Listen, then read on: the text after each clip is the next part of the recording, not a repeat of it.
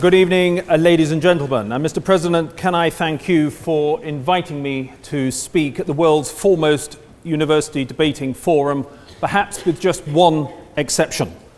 But can I also.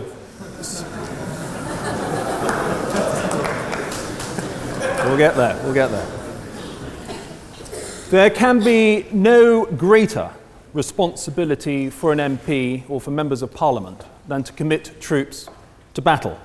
And that is why I suggest to you that it is very important we draw a distinction between counterterrorism and wider military intervention, which is implied in this motion. The first, or the former, I can sign up to, provided it is based on sound intelligence. So we do and can take the battle to terrorism. But I cannot sign up to the wider concept of military intervention uh, when it comes to Daesh at the moment for a variety of reasons, but one of the key ones is that our past interventions in Iraq, in Helmand, and in Libya have been a shambles. They've been a shambles, and the cost has been dear, both in lives, in treasure, and in international reputation. This is not the military's fault. It is a political and diplomatic failure to understand the events on the ground. Now, let us be clear there are no easy answers, or very few easy answers in foreign policy nowadays. There's very few black and white cases. A lot of just a series of hard decisions and choices. And as such, we must learn from the error of our ways for fear of repeating them when it comes to combating this most evil of terrorist organizations that is called Daesh. Let me make my position clear, if I may. I was referred to as a serial rebeller. Yes, I have opposed our interventions. I resigned as a shadow minister to vote against the Iraq war. I was one of the few on our side to oppose our intervention in Helmand. I was the only Conservative MP to vote against continuing policy, the government's continuing policy in Afghanistan, and indeed the only Conservative MP to vote against our Libyan intervention as well.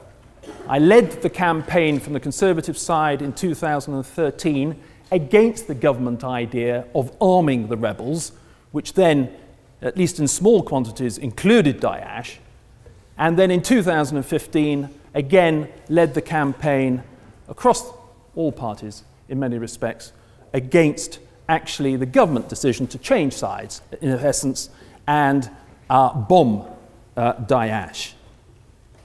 Now, history, so you can probably gather from that, and when you take into account that I've also opposed my own government in arguing actually for stronger defense because I believe these interventions have been a gross distraction from the bigger danger, and that is sovereign states, not necessarily friendly to the West, both rearming and reasserting its power and influence.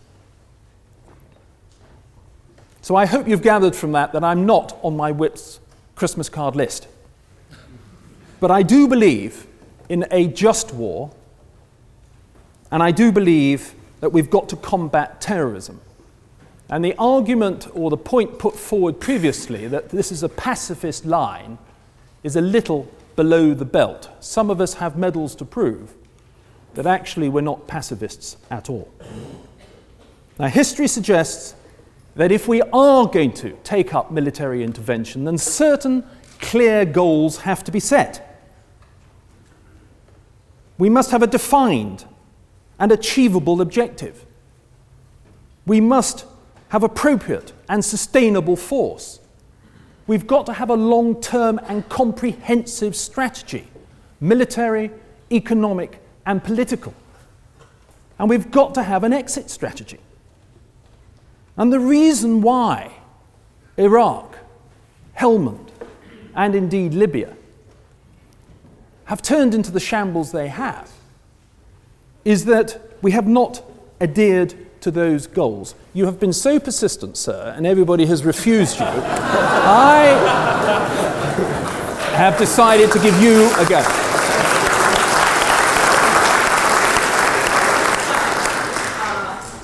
I'm most inclined to agree with you that military intervention in Syria today is definitely not a good idea.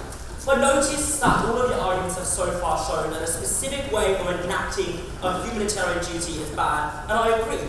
But none of your arguments show why that humanitarian duty does not exist in the very first place. So surely the debate is not about whether the duty exists, but how exactly we best fulfill that duty, as you have shown in your speech today. So would you not agree with your position in principle, and instead say that attacking or having a white back campaign is probably not the way to go, but that this duty exists irrespective of whether or not its fulfillment leads to good or bad consequences? Does this duty not exist in itself? A duty exists to create a better situation than went before. And the lessons from our previous military interventions is that those interventions have actually caused more harm.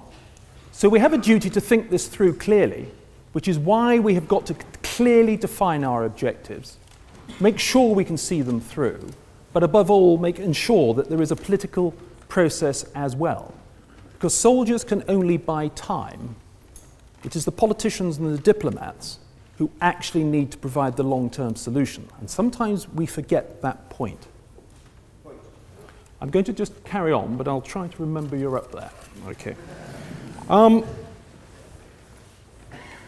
I think one of the reasons that we've had such an unfortunate series of interventions which have proved failures is that not only have we not adhered to those core principles, but also we've actually been poorly informed.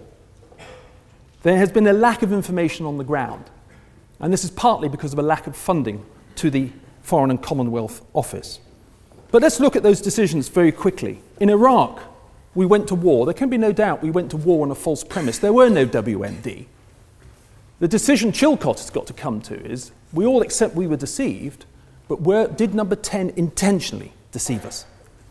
When it comes to Afghanistan, I supported the initial deployment in 2001. That was sound policy to defeat Al Qaeda. We achieved that goal very quickly. But the mission then morphed into one of nation building, which was a complete and utter disaster. We did not have the resources to see that through. And in confusing the mission, we confused the enemy because in Al Qaeda's place came the Taliban.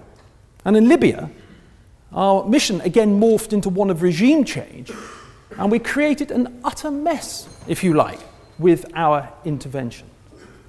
So I would argue that we need a comprehensive and long term strategy, and one of the biggest lessons of those interventions that that must be in place. Airstrikes, we all know, cannot alone succeed to defeat Daesh. What we need are ground forces. Where are those 70,000 moderates? Why isn't Jordan, Saudi Arabia, and Iran actually doing more? It is their responsibility to actually, given their scope as regional players, to do more. Where is the economic strategy? Why aren't we taking on Daesh from a, from a business and financial point of view? They are the richest terrorist group in the world. Why aren't we doing more? One more minute. Why aren't we doing more to address their prominence on social media? Where is the strategy in that? And why is it that we have refugee camps that are $800 billion, million dollars underfunded? It is an international disgrace. There is no complete comprehensive strategy, and in the absence of that, the military intervention would only make things worse, as previous interventions have shown. And if there's one thing in conclusion I would suggest to you, when I was serving on the streets of Northern Ireland in the 1980s, it is this very point, and that is soldiers can only buy you time. The politicians and the diplomats must step up to the plate. Politically, we have failed so far. We've frozen out the Russians, we banned the Iranians, we stuck to the mantra that Assad must go in the short term. We still don't have a political framework. We still can't agree who should be in control in Damascus. It's time to raise our game. The politics are not in place. And therefore, I would urge you, in the absence of that long term comprehensive strategy, and whilst accepting that we must abide by our responsibilities when it comes from a counter terrorism point of view, The wider idea that we militarily intervene against Daesh, I think, is complete and utterly wrong. We have not learnt the lessons from the past, and I would urge everyone in this chamber tonight to ensure that they support the motion. And I thank you very much.